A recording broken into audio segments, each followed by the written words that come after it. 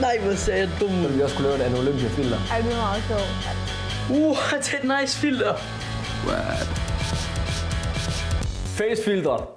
De er sjove, og nu kan man faktisk også lave sit eget. Jeg kunne godt tænke mig at lave et nørdfilter.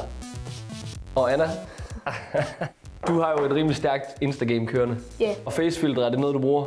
Ja, nogle gange bruger jeg det sammen med mine venner, hvis man skal se lidt sjov ud. Du bruger ikke øh, sådan nogle beautifying Nej, men jeg svarer det der med, at det står oppe i hjørnet, og når man bruger lidt kikset, så står sådan noget skinne. Et eller andet. så er man rimelig busted fra Ja. start af. Mm. Det skal være sjovt, Ja. før man gider at bruge det. Det synes jeg er Og så har vi faktisk også spurgt jer derude, hvad I gerne vil se på et facefilter. For at kunne lave det her facefilter, så har jeg downloadet et sådan et augmented reality program. Okay, så hvis man ligesom vil have sådan hundeører på et filter eller sådan noget. Lige præcis. Og faktisk så er alle sådan nogle facefiltre, de er AR. Det lyder da ret svært. Jamen det er faktisk det, der er det fede ved det her program. Det er for det første ret nemt at gå til, men så er der også sådan nogle standard skabelonprojekter, man kan gå i gang med. Boom. Åh, oh, den er allerede i gang. Ja, Så vil vi også kunne lave en Olympia-filter. det var meget sjovt. Så skal vi bare lige vælge en fed font. Det der, den er faktisk meget sjov. Lad os lige se, hvordan det ser ud. Ej, det er meget sjovt. det er faktisk ret fedt, man kan lave sådan noget. Ikke? Ja. Det ser ikke helt under- underligt nok ud endnu. Så går man simpelthen ned, så finder man her, hvor der står Distortion. Så kan man trække den, og så skulle min næse gerne blive... Kan det her øje blive større, tror du? Det kunne man faktisk godt. Hold op. en lille fed mus. Ja. Prøv, prøv at dreje siden til nu. Det ser virkelig dumt ud. Helt ødelagt. Det her det er meget sjovt, er det ikke det? Jo. Så synes jeg lige, vi skal have nogen til at teste det her filter, vi har lavet nu. Ja, øhm... Altså, min næse er lidt stor. Nej, hvor ser jeg dum ud. Hej. Ej, det synes jeg er ret grineren, det her. Det er, er det min næse, der går sådan der ud? Okay, jeg skal lige prøve den på min mor. Men Anna, det her det er jo en skabelon.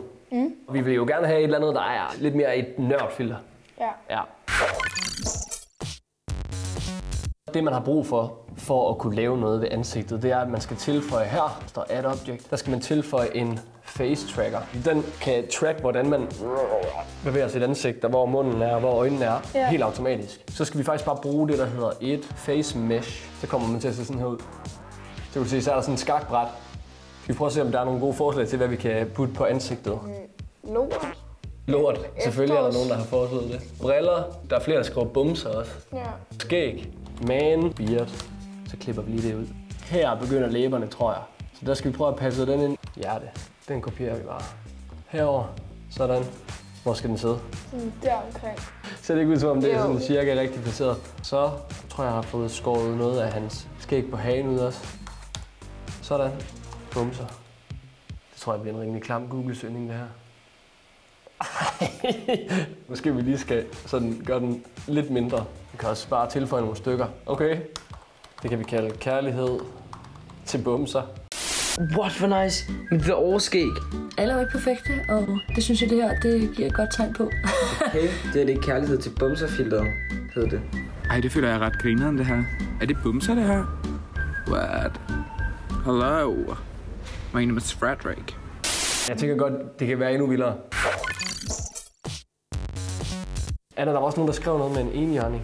Der bruger vi altså lige sådan et 3D-modelleringsprogram her. Det er lavet til at lave 3D-modeller i, og faktisk også 3D-animation. Lort, det er mega godt lavet. Enhjørninghorn.